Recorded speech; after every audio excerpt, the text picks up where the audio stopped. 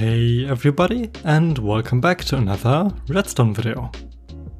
Today I will show you how to build this extremely tiny and simple useless machine.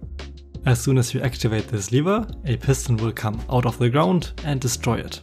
It's really pointless, but I guess you could use it to impress your friends and just have some fun. I designed this contraption together with a guy called redstone.com on the Synergy server. He also has a YouTube channel, so check him out. Also, if you're looking for an even fancier version of this useless machine, I also just released another one that's flush with the floor, so just click on the info card or use the link in the description. And for all you Bedrock Edition players out there, my buddy Labster has you covered. He created two Bedrock friendly designs which you might like. Once again, the link is in the description. Okay, with all that out of the way, let's finally go over how this simple useless machine works and how to build it. This useless machine is actually really simple.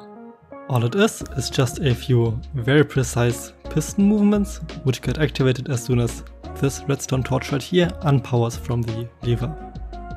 So let me just show you all of that in slow motion using the game speed mod.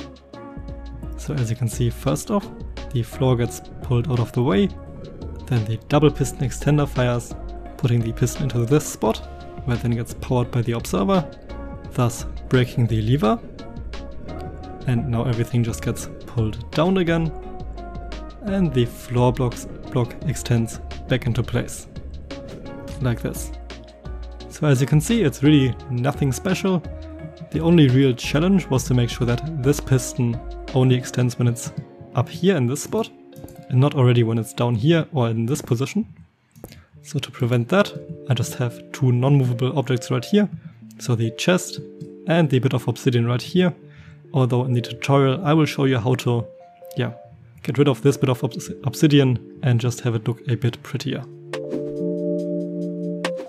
For this build, you will need an area that is at least 2 blocks wide, 5 blocks high and 4 blocks deep.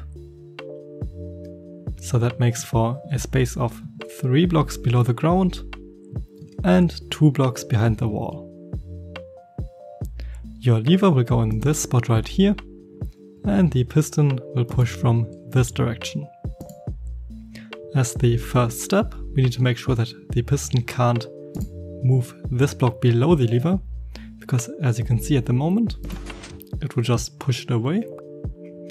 In order to prevent that, we basically have three options. First off, we could just place the lever on a non-movable block, like obsidian. Or we can just go out a few blocks and then have a non-movable block, sort of hidden below a wall for example. Or we can just go out 12 blocks from this one. So that's 1, 2, 3, 4, 5, 6, 7, 8, 9, 10, 11, 12. Or even more if you want. And then when you flick this lever right here, you will also see that nothing happens because the piston can only move a maximum of 12 blocks and this is 13 blocks now. So for the sake of this tutorial, I will just use, yeah, obsidian. But it is really up to you. And the first step is to just place your lever right here. At the back of this block right here, you now want to place a redstone torch. Then go down two blocks from there, destroy the upper block and replace it with redstone dust. And at the front of that block, you now want to place a redstone torch. On top of that, just place a chest, like this. And if Mojang ever decides to make chests movable, all you need to do is to just add another bit of obsidian to the left side of it. Below the redstone torch, you now want to place a note block with an observer coming out of it, going towards the back of the machine, into two blocks like this. Now place redstone dust on top of this one, and then a 3 tick repeater going towards the back. Place a note block to the right of that block, with a 2 tick repeater on top of it. And then just place two observers coming out of the note block and the repeater going towards the front of the machine.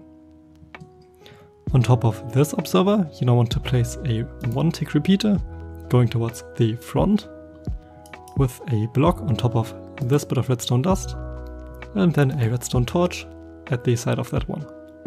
On top of this redstone torch, you now want to place a sticky piston going towards the front of the machine with two more upwards pointing sticky pistons right here in front of those observers and a regular piston on top of those going towards the left side. On top of this repeater right here, you now want to place an upwards pointing observer with a bit of redstone dust on top, then three blocks like this, redstone dust on top of this one, and then a 3 tick repeater coming out of this block, going towards the right side. Now just place an observer in this spot, going towards the front, and that should be everything already completed. So as you can see, when I now flick this lever, it will just get broken. Okay, that's it for me today. I hope you had fun building, and I will see you in my next video. Goodbye.